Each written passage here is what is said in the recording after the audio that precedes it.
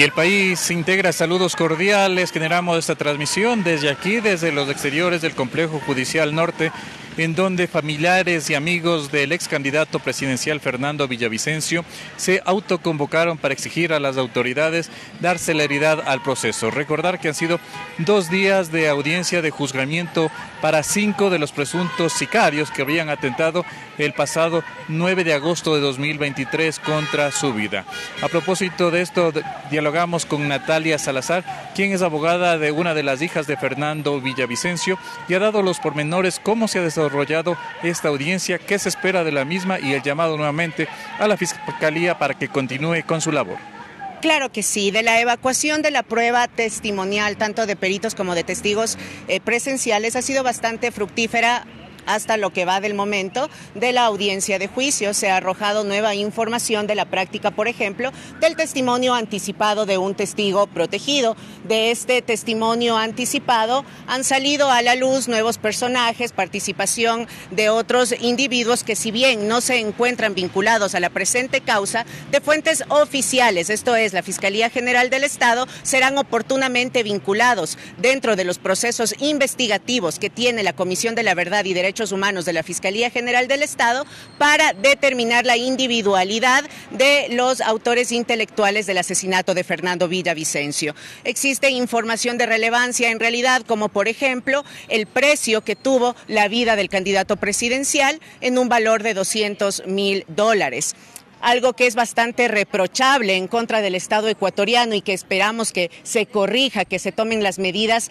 pertinentes para no sistematizar la impunidad en el sistema judicial, es que los líderes de las bandas delictivas dan órdenes y configuran toda la logística para la consumación de delitos desde las cárceles ecuatorianas. ¿En dónde está el control de las autoridades? ¿En dónde está el control del SNAI?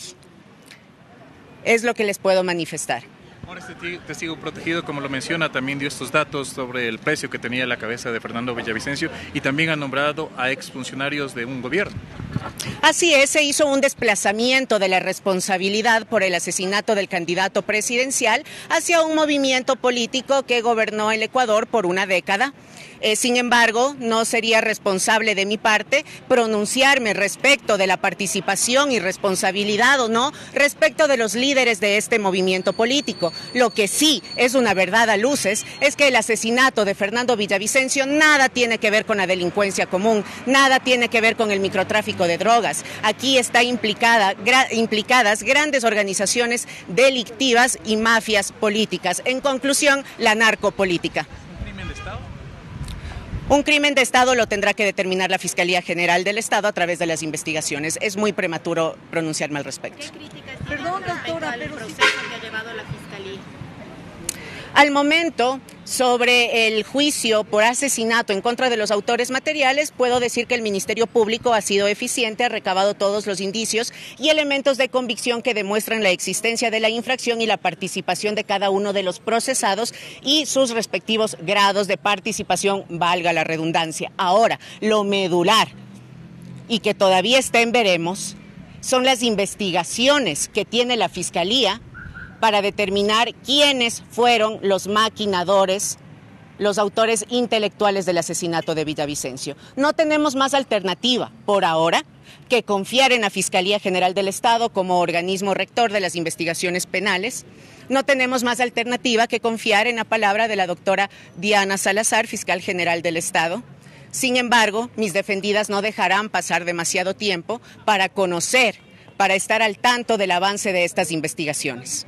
Amanda Villavicencio, hija de Fernando Villavicencio, en cambio ha reiterado que continúan siendo amenazadas por gente que quiere que este proceso eh, se detenga. Ha mencionado que durante la audiencia recibieron amenazas por parte de quienes hoy están en los centros de rehabilitación social. Escuchemos lo que señaló. Bueno, eh, primero quiero agradecer a todos los medios de comunicación Ustedes han sido nuestro sostén en este, en este tiempo.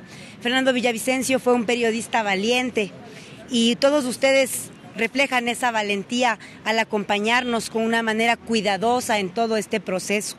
Ha sido muy difícil para nosotras enfrentarnos a esto porque no tenemos experiencia, no sabemos cuál es el orden, no somos expertas en este tema y en un principio nos hemos sentido muy vulneradas de no tener esta información que justamente me dices. Todos queremos saber quién ordenó asesinar a Fernando Villavicencio, más allá de los gatilleros. Recordemos que de los 13 primeros, 7 fueron asesinados en la cárcel. Y de eso no nos han dicho nada, ni a nosotras como familia, ni a la ciudadanía, ni a los medios de comunicación. Esas son las preguntas que hemos hecho. Nosotras hemos eh, comenzado estos plantones de los jueves porque no teníamos respuestas. Pero imagínense cómo es la presión social y así es como debe ser, esa es parte de la democracia también, que en el primer plantón ya nos recibió la fiscal Ana Hidalgo. Ese ha sido el primer contacto que hemos tenido directamente con la fiscal. En ese fue recibida mi abogada, yo no estaba aquí en la ciudad, pero en esa, en esa reunión nos pudieron comunicar que sí existe otra investigación, la investigación de los autores intelectuales. Entonces, ese es un primer alivio. Entender que no es que solamente nos vamos a quedar con eh, voy a decir, como con la sentencia de estas personas que les llamamos los gatilleros, estos cinco que quedan sino que sí hay otra investigación. Eh, entonces, claro, ahora eh, también es algo nuevo para nosotras. Esta investigación la conocemos desde hace una semana, no tenemos acceso a ella, no conocemos el contenido. Lo que nos han dicho es que es súper reservada por la razón que todos tienen en su mente ahora, y es que la filtración de información que hemos visto en este caso es impresionante. Vemos también a un montón de, actores políticos, yo me gusta esta frase, sueltos de huesos, que andan por ahí diciendo que ya saben quién es quién. yo digo, chévere, si ya saben, cuéntenme, muéstrenme las evidencias, díganlo y demuéstrenlo, porque si no, solamente están revictimizando una familia. Nosotros aquí como decía mi abogada, no nos queda otra opción en este momento que confiar en la fiscalía. Y si no vemos que hagan un buen trabajo como deberían hacer, no crean que nos vamos a quedar cruzados de brazos. Y estoy segura además que los medios de comunicación y la ciudadanía van a ser protagonistas también de esta historia y no vamos a permitir que este crimen sea disminuido como ha pretendido la Asamblea Nacional, por ejemplo, con ese informe tan mediocre de la Comisión Ocasional en el que pretenden decir que el crimen de Fernando Villavicencio es de delincuencia común. Compañeros periodistas, yo pienso que quienes han estado en la audiencia y han escuchado que había granadas, cuántas armas, detonaciones, imagínense cuánto impacto hubo ese día y vienen a decir que es delincuencia común. Realmente eso es indignante. Imagínense cuánto dinero, cuántos recursos del Ecuador se gastan. Vemos que, por ejemplo, el IES ya no tiene convenio con Solca, todas las platas en los bolsillos de los corruptos. Vemos a, Carlos, eh, a Carlos Polit que quiere ofrecer 25 millones de fianza para salir de la cárcel. Ahí está la plata de los ecuatorianos, desperdiciada y nosotros aquí rogando por verdad y justicia. Eso no es posible, queridos ecuatorianos. He escuchado esta semana un montón de gente que me dice, lánzate a la asamblea. Y yo les digo, no. Aquí todos tenemos que hacer democracia no desde un, curul. Ya vemos que no sirve para nada la Asamblea Nacional, pero todos somos responsables de hacer justicia, de hacer democracia, empezando por nuestro propio, eh, nuestro propio sector, nuestra casa, nuestra familia, nuestro trabajo. No permitamos la corrupción en ningún ámbito. Y les prometo que este crimen no habrá sido en vano, porque ha despertado en todos nosotros una valentía que antes no existía. Yo no estaría aquí si mi papá estuviera con nosotros.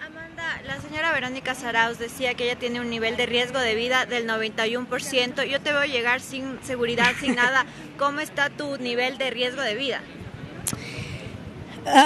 no me he hecho un análisis de riesgo de vida. Yo creo que mi mayor alegría es poder caminar con la cabeza en alto. Mi amor, perdóname, pero eso fue el error del papá. Eh, por suerte yo estoy aquí, yo estoy aquí. Luego le entrevistan a la señora, ya tiene, parece algo que decir. Ahora, para mí es fundamental decir que lo peor que podemos hacer es culparle a la víctima de su propio asesinato. Es como cuando le culpamos a una víctima de violación de haber sido violentada. Esas son las prácticas que debemos cambiar en nuestro país. La responsabilidad del asesinato de mi padre es de quienes ordenaron su asesinato, de quienes no lo querían en el poder, porque sabían que él iba a cambiar la dinámica del juego en este país, porque él era el único que realmente él vino de abajo, un campesino que nació en el Monte Cicerán Esperamos que asimismo nos demos cuenta que cualquiera de nosotros puede ser ese ecuatoriano valiente, esa ecuatoriana valiente, que haga la diferencia, esa golondrina que sí hace verano y podamos todos tomar ese ejemplo. Cuando veo que la gente dice, vamos a tomar el legado de Fernando Villavicencio, bueno, tómelo. Sea valiente, sea honesto, sea decente, levante la voz ante la injusticia. Pero no se ponga las siglas de mi papá ni se tatúe la cara de mi papá. Eso es innecesario. Aquí la valentía es el legado de todos los ecuatorianos. Y bueno, eso es mi mensaje. No sé si quieren preguntar algo más. que durante también estos días de ausencia ustedes también siguen siendo, continúan siendo amenazadas? Sí, qué feo, qué, qué revictimizante, qué horrible. Todo este proceso, pues me encantaría sentarme a contarles lo horrible que ha sido estar conectada en la audiencia con estos bandidos, con estos delincuentes. O sea, estamos ahí nosotras y ellos. Y ellos están felices, están gozando, se planchan el pelo, están abrazados, se hacen chistes de una cárcel a otra. Y se nota que son amigos además, se nota que son panas y que la están pasando bien prenden el micrófono cuando les da la gana, dicen lo que les da la gana. Y eso, más allá de las palabras que digan, demuestra que ellos saben que tienen el sartén por el mango, que ellos dominan. Les vemos ahí, los del SNAI así malísimos, con sus máscaras, con todo. ¿Qué hacen? Nada, absolutamente nada. Entonces, primero eso ya es como, es una ofensa, ¿saben? Es una ofensa contra la justicia. Además, es una ofensa contra este corazón roto, porque no le deseo a nadie ese dolor. Pero además de eso, recibir intimidación. O sea, ya es como, vean, señores de la justicia, solo tenían que poner bloquear el chat desde el principio. Solo tenían que poner bloquear los micrófonos desde el principio y ustedes habilitar cada vez que necesitan que alguien hable. Pero eso es nivel uno de, Zoom. O sea, necesitan una capacitación en seguridad digital también. Porque por su culpa, nosotras fuimos intimidadas por los mafiosos que asesinaron a nuestro padre. ¿Se puede saber qué les dijeron en el chat? Hemos preferido no decirlo. ¿Saben por qué? Porque vemos que medios podridos como la posta tergiversan la información y mueven eso a su conveniencia. Nosotras no queremos ser exhibidas ante las mafias. Nosotras no queremos que esos mensajes sean reconocidos como victorias de esos grupos delincuenciales. Por eso, y también les pido a todos los periodistas que, que yo sé que nos cuidan y nos quieren, no nos expongan innecesariamente. No nos expongan, no, no por ganarse un like nos expongan porque saben, nos duele nos duele y nos ponen en peligro. Y luego cuando pase algo van a decir, ah, es culpa de usted porque usted andaba sin seguridad. yo tengo derecho a ser feliz y a ser libre y a que nadie me mate en la calle. Amanda, se va a cumplir un año. Lo que piden con los plantones es celeridad y esclarecimiento de las cosas que todavía faltan porque se conozcan. Claro, sobre todo lo que exigimos es que se haga bien el trabajo. No quiero que se apure demasiado para que me salga con una respuesta vacía. Necesito que se haga bien el trabajo. Pero pedimos, exigimos a la Fiscalía que se nos tome en cuenta dentro del proceso. Yo entiendo que hay personas dentro del proceso, por ejemplo, el abogado Ricardo Vanegas, que sale, o sea, de verdad yo no entiendo a ese señor qué le pasa. Pienso, parece que es el, abogado de los bandidos, no entiendo yo. Él sale con unas teorías, sale unas cosas tremendas. Yo entiendo que hay temor por parte de las autoridades de esta filtración, de estos abogados mediocres que están haciendo mal su trabajo. Pero nosotras pienso que también hemos demostrado hacer las cosas diferente y estamos aquí porque no queremos ningún protagonismo político ni de ninguna forma. Lo que queremos es verdad y responsabilidad. Como siempre lo digo, colegas, justicia no va a haber, porque nadie nos va a devolver a mi papá, nadie nos va a devolver a Fernando Villavicencio, el periodista valiente. Eso no va a pasar, pero sí nos merecemos que haya un proceso célere, a su tiempo, lo entendemos, pero que esté bien hecho. Esa es la intención.